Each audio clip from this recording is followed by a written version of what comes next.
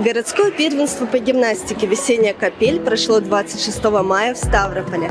Дети от 6 до 12 лет показали свои творческие номера. Они приехали к нам в город со всего Ставрополя и Краснодарского края. О том, кто взял главные награды, смотрите в сюжете «Победы 26».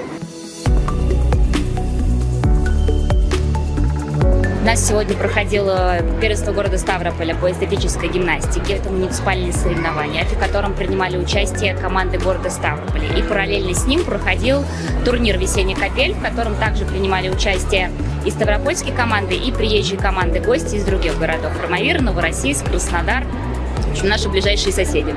Эстетическая гимнастика – это прежде всего групповая гимнастика и беспредметная. Это ее самые главные отличительные особенности.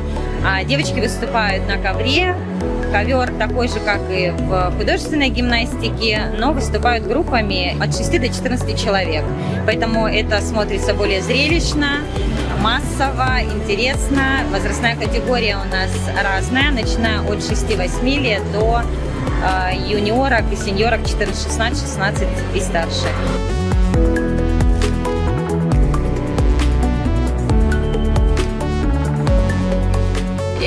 Эстетическая гимнастика – молодой вид спорта, и бесконечно растет и развивается, и в последние годы, наверное, с утроенной силой уровень команд на сегодняшний день позволяет нам конкурировать и на всероссийском уровне, и на межрегиональном уровне.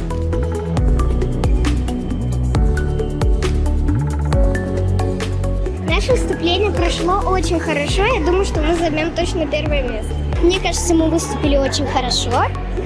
Э, я рада за нашу команду.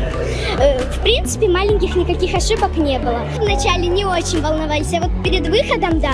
Но когда выйдешь, уже начинаешь делать программу, уже не страшно. Тренировки у нас проходят э, в разных филиалах города. На юге мы находимся на 45-й параллели 2В на севере проспект Юности 9А. И недавно открылся новый филиал в городе Михайловске. Развиваем теперь эстетическую гимнастику там. Победителей у нас сегодня достаточно много. Помимо награждения команд, участвующих в соревнованиях, еще и девочкам вручили значки с присвоенные уже разряды, как третий юношеский, так и второй, так и первый юношеский. Поэтому это наша определенная ступень к высшим званиям мастера спорта, которую мы надеемся выполнить в более старших возрастах. Межсезонье сейчас начнется летом. А, поэтому летом у нас традиционно учебно-тренировочный сбор, мы выезжаем с детьми на неделю и тренируемся там по два раза в день. А, готовимся к новым сезонам, к новым соревнованиям. Но впереди у нас еще всероссийские соревнования, которые пройдут в городе Сочи, бегущие по волнам, куда отправятся наши команды.